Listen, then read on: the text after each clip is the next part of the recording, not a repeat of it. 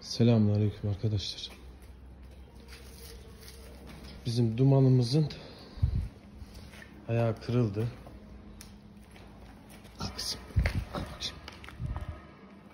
Al. Kıymalı makarna oğlum.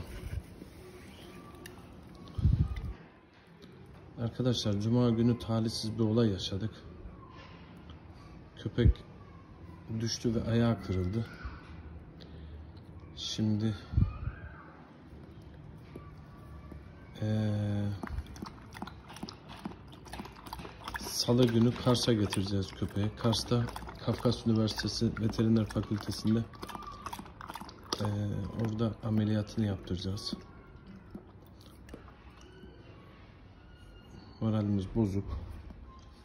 Sağ olsun Kars Emniyet Müdürümüz Veteriner Fakültesi dekanımız bize yardımcı olacak.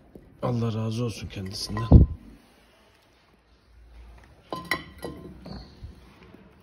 Kızım ye. Al kızım.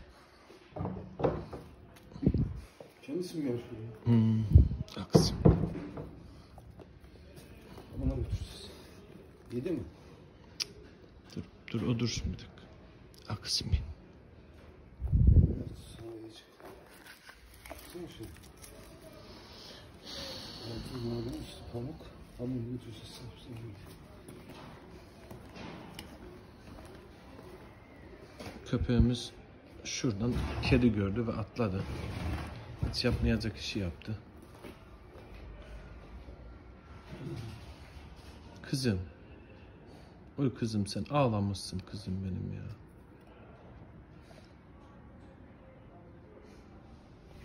Sıcak mı bu? Yok. Kızım ya bunu sıcak değil. Kızım ye bak. Çok güzel kıymalı makarna.